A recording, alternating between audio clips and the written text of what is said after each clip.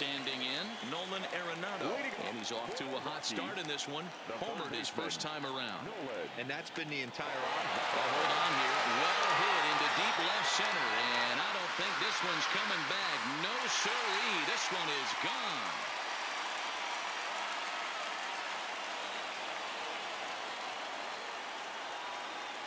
So a solo shot here to left center field. His second home run of the game as the Rockies have taken a 2 to nothing lead.